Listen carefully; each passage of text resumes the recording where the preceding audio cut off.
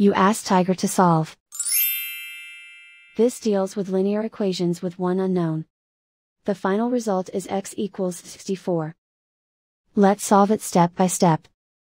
Isolate the x. Multiply both sides by inverse fraction 4 over 3.